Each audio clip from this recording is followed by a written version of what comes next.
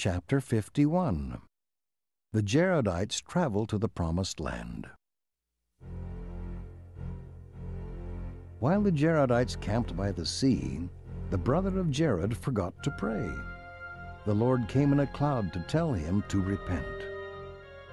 The brother of Jared repented and prayed. The Lord forgave the brother of Jared, but said he should not sin any more. The Lord told the brother of Jared to build barges to take his people to the promised land. The Lord told the brother of Jared how to build the barges. The barges were made airtight so no water could get inside. The brother of Jared wondered how the people would have air to breathe in the barges. He asked the Lord what he should do.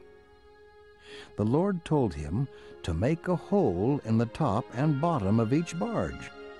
The hole could be opened to let air in and closed to keep the water out. The brother of Jared told the Lord that the barges were dark inside. The Lord asked him to think of a way to have light inside the barges. The light for the barges could not come from fire or from windows because they would break. The brother of Jared went to a mountain and formed sixteen small stones from a rock. The stones looked like clear glass. He made two stones for each of the eight barges. The brother of Jared carried the stones to the top of a mountain. There he prayed to the Lord. The brother of Jared asked the Lord to touch the stones so they would give light inside the barges. The Lord touched each stone with his finger.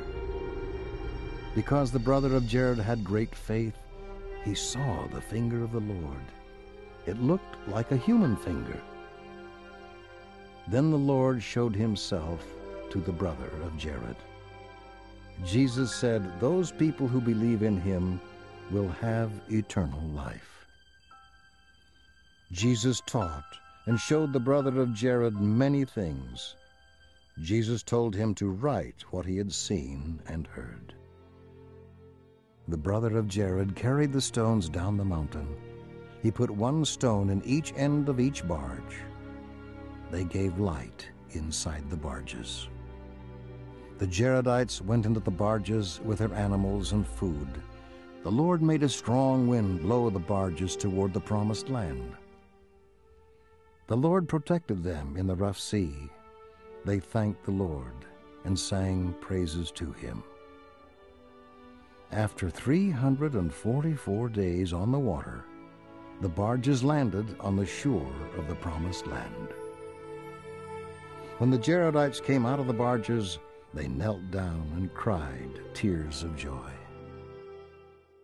The Jaredites built homes and planted crops in the promised land. They taught their children to listen to the Lord obey his words.